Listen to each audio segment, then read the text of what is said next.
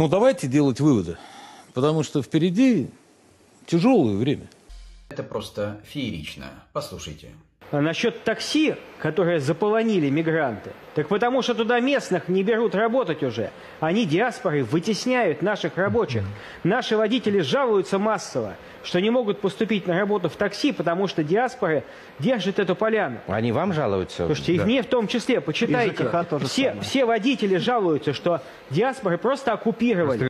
То есть депутат Милонов поехал в чужую страну на Донбасс защищать русских, а в это время мигранты оккупировали Москву и Питер и нарушают права русских, притесняя их. Но спецоперация проходит в Украине. Умом Россию не понять. окей, вас заставили, не знаю, еще что-то случилось, вы сами захотели, окей, убираем это в сторону. Но песня про ракеты, то есть вы говорите, что ракеты это круто, и убивать круто, и стрелять ракетами круто. Вот это страшно. Ну, то есть покажите номер про, не знаю, Сбербанк, условно. Покажите просто номер, муж пришел домой, э, жена не спит, и все. А почему песню про ракеты? Вот это, это действительно то, что мои, некоторые мои друзья говорят, это соучастие. То есть я не, я не выработал, я не хочу их ненавидеть, но и любить уже не могу. И я не, пока не понимаю, как мне вообще к этому относиться. Кстати, уже все цивилизованные страны осудили атаку на Израиль, включая Украину. А знаете, кто не осудил? Те, кого поддерживает израильская вата, Рашка. Посмотрите, как рашистские правовоенные каналы радуются атаке на Израиль. Как они это смакуют.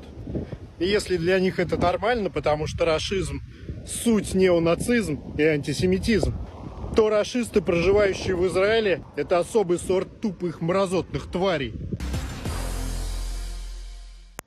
Ну, здравствуйте, друзья мои. Видите, какое пожелание?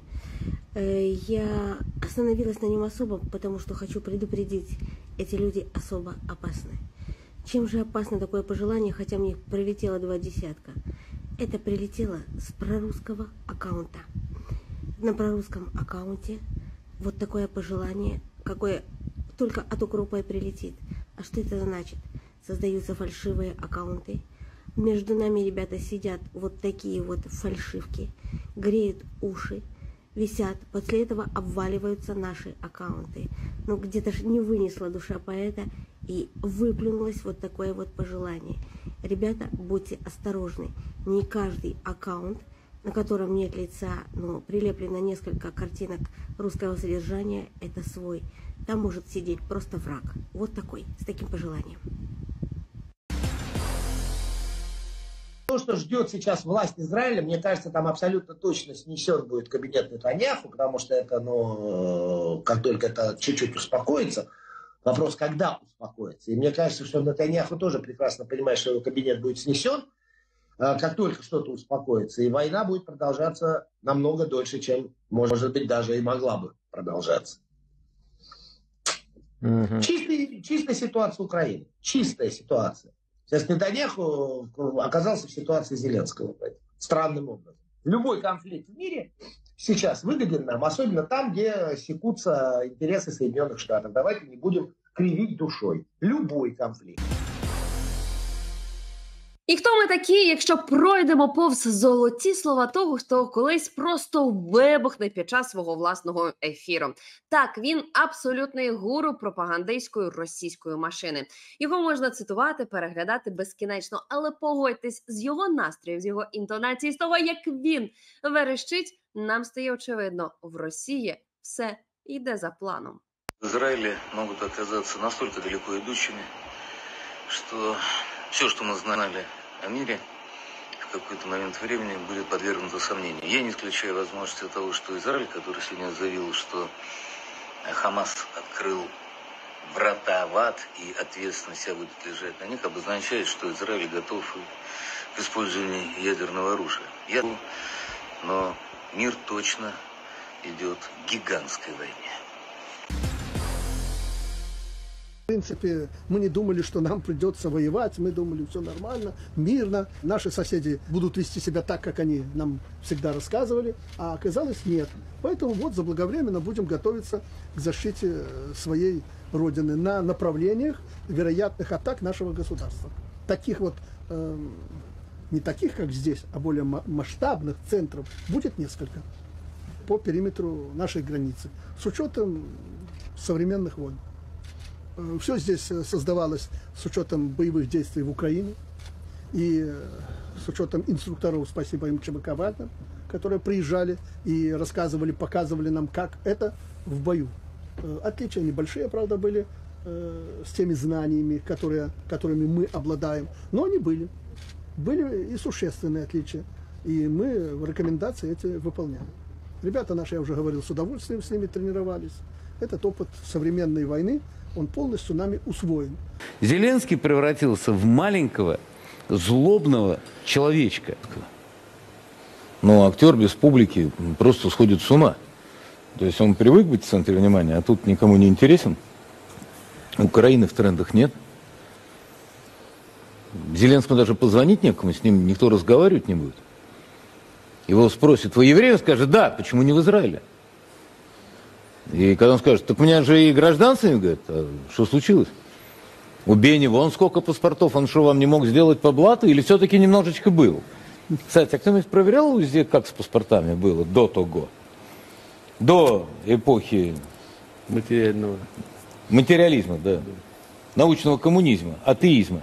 Столько, сколько он работал в России, может, и русские есть где-то. Ну, паспорт жены нашли. Ну, можно поискать. То есть я ничему не удивлюсь. Я тоже.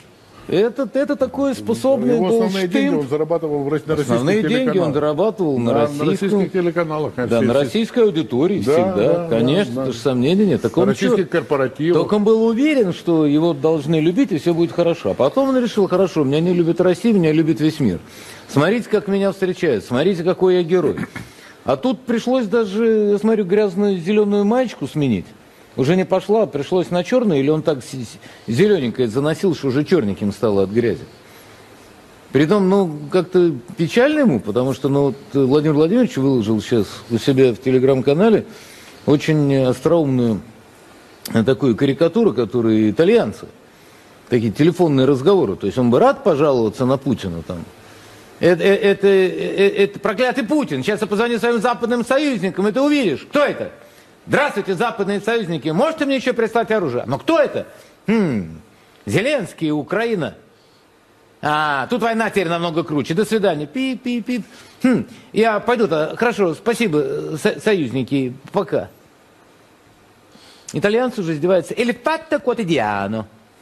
Издевается. Над этим идиота патентата. А Зеленский так ничего не понял. А зачем ему нужно еще оружие? Чтобы опять Хамасу продать? При этом настолько кретин, что он говорит, я знаю точно, за Хамасом стоит Россия. Ну вообще уже охренел. Ну, ну, во-первых, ты и точно, это уже смешно. А затем, ну, Дмитрий Анатольевич Медведев так хорошо ответил. А это Зеленский во время совместной пресс-конференции с президентом Румынии. На вопрос о том, кто может стоять за Хамас, мне очень нравится этот вопрос. Зеленский. Кто может стоять за Хамас? Во-первых, сначала спросите, а Зеленский отличает Хамас от хумуса? Как было в свое время в комедии с одним британским актером, Сашей. Саша, да. Да, ну, в общем, такой же. Зеленский, в общем, такой же не- неспособный. Саша Барон Коэн. Саша Барон его зовут, да. Кто стоит за Хамас? Я думаю, ответ очень прост. Кто их поддерживает. Поддерживает публично, поддерживает оружием. И это же не один день, это происходит длительное время. Я думаю, что здесь может быть развертый ответ, который вы сами можете найти. А также в соцсетях вы можете видеть по сеткам, кто дает ответы на сигнал. Мы считаем, что Россия одна из тех, кто помогал и стоит за такими ответными шагами. Підпишіться на канал і не пропускайте нові відео. Пишіть коментарі і діліться з друзями. Ми також будемо вдячні за підтримку нашої роботи на Patreon або інших зручних платформах. Реквізити в описі до відео.